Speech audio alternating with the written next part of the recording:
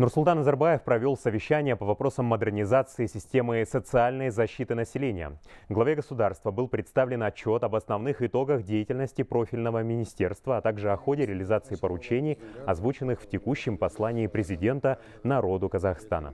Нурсултан Назарбаев подчеркнул, что главной задачей правительства является повышение уровня благосостояния казахстанцев.